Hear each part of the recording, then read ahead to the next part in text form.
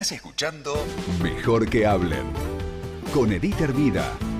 Por Radio 10. Soy cordobés, el vino y la joda, y lo tomo sin soda, casi pega más, pega más, pega más. Soy cordobés. Y con la música de Rodrigo, claro, hablamos con Daniel Arauz que está de visita porque Sí. ¿qué es lo que estás?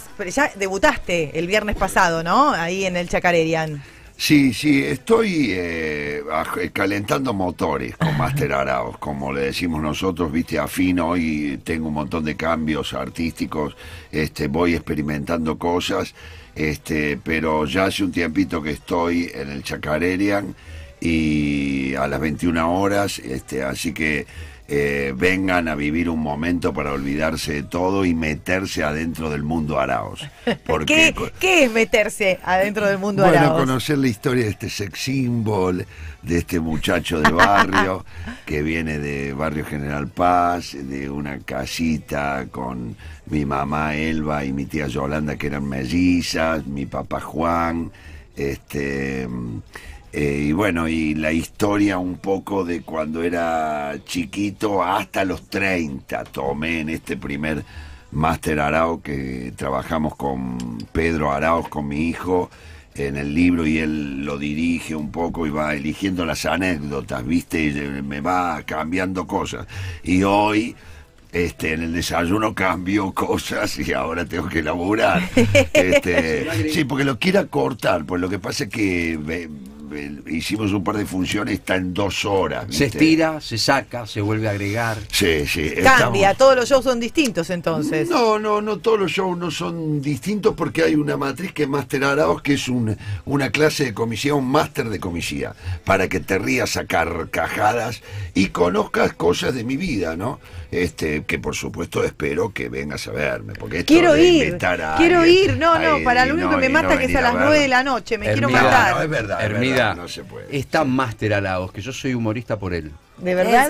Y sí, porque Le nosotros... echamos la culpa a él entonces. Sí. nosotros nos conocimos en lo de Brisky, pero yo hacía drama y él hacía comicidad. Pero sin embargo, vos sos muy bueno haciendo drama. Sí, Sí. cuando le me hacer encanta. drama me encanta. Porque aparte, a mí me gusta eso de poder sorprender, ¿me entendés? Cuando yo te vi haciendo drama, dije, míralo a Arauz. es lo que me pasó con Franchella, lo que nos ha pasado inclusive con, Me encanta. con, con actores de afuera Claro, también, ¿no? Me Cuando encanta que los de- directores eh, llamen a, a personajes que uno tiene estereotipado de determinada manera, eh, eh, que te cagás de risa, qué sé yo, y de repente, Sí, eh, en mi caso, eh, eh, la puerta eh, al drama fue El hombre al lado, Eso. que fue un de- proyecto que llegó Con con y Con y Dupla, que ya laburábamos juntos y me dijeron, mira, tenemos un libro, fíjate, charlemos.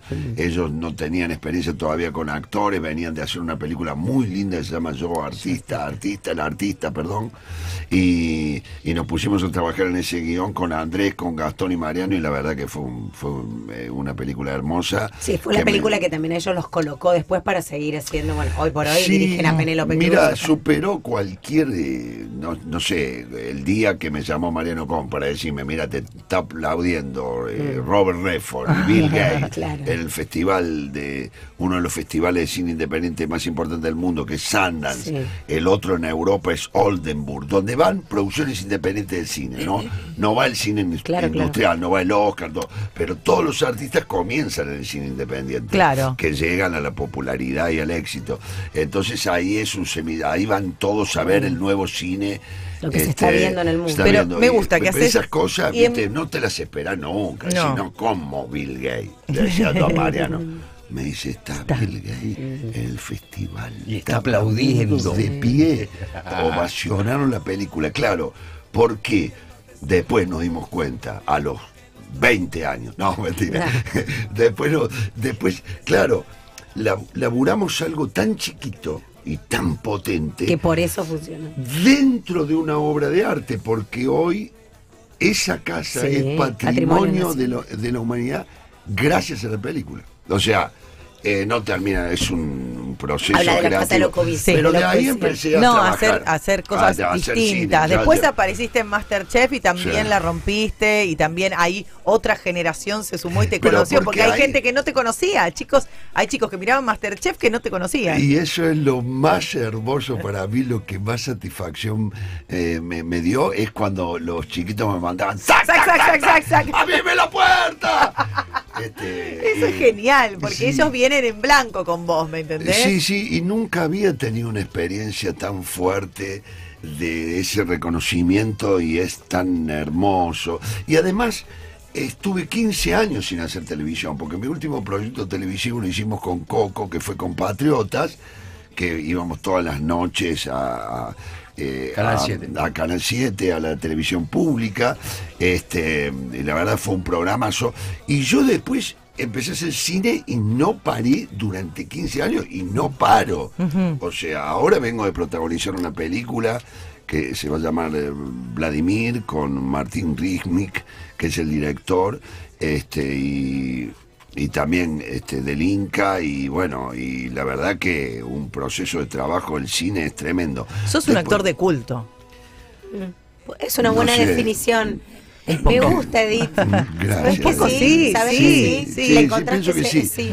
Creo que hay algo ahí que empezó a funcionar también en la última hora, eh, digamos, trabajos eh, que yo me doy cuenta, por ejemplo, la última hora que fue un trabajo que compartí con mi amado Brisky, con Norman, que un poco yo si- siempre quería laburar con él desde que lo conocí, pues yo lo veía en teatro, lo El veía en astronauta cine. hiciste también, habías hecho Sí, con él. un poquito. Un poquito habías sí, hecho. con ensayé Norman, también, lo dirigí, me dirigió todo, pero no habíamos hecho nunca, no habíamos hecho una finción, imagínate, mamá cumple 100 años, es un actor de cine infernal, infernal.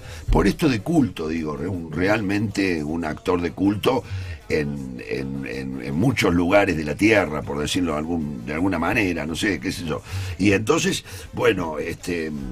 eh, la última hora también es una o sea, eh, y ahora estreno el 30 de septiembre en el cine español, o sea, Ah, te me vas para cosas- arriba. sí, sí. Arau, y yo lo conozco, chicos. Sí. Yo quiero agradecerte que hayas venido, invitar a todos los oyentes de. Radio 10 que vayan a, a disfrutar de, de Arauz, aparte en el Chacarerian, que es un teatro hermoso, Hermoso. Sí. hermoso, nos encanta porque es como acogedor, puedes Sí, hermoso. eh, disfrutar, eh, tomar algo, y te sentás en una mesita, Obvio. disfrutás del espectáculo este viernes 9, vas a estar a las 9 de la noche haciendo Máster Arauz, así que invitamos y el- Plateanet.